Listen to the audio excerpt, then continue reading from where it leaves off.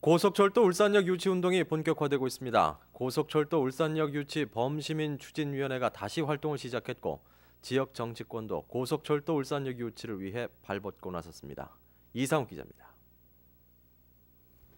경부 고속철도 울산역 유치를 위한 범시민 운동이 다시 불붙을 전망입니다.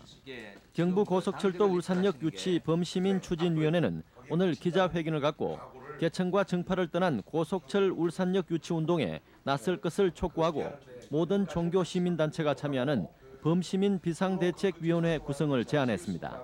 울산역을 필히 설치할 것을 강력히 주장하고 에, 울산을 에, 제외시킬 때에는 강력한 시민적 저항에 에, 직면하게 될 것이라는 것을 천명합니다.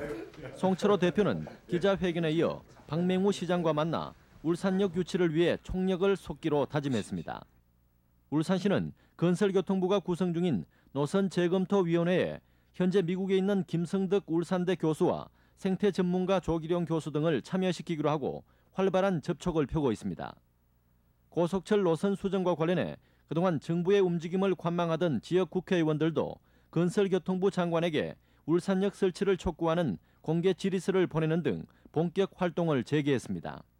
고속철도 중간역이 꼭 설치가 돼야 합니다. 그러기 위해서 울산 지역 출신 국회의원들이 같이 힘을 모아서 정부에 강력히 촉구를 할 것입니다.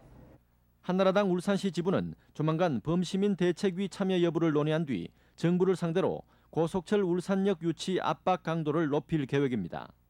이와 함께 오는 17일 경주 출신 국회의원들과 한자리에 모여 공동 대응 방안을 찾기로 했습니다. 경부 고속철도 울산역 유치 운동이 좋은 결과로 이어질 수 있도록 시민 모두가 힘을 모아야 할 때입니다. MBC 뉴스 이상욱입니다.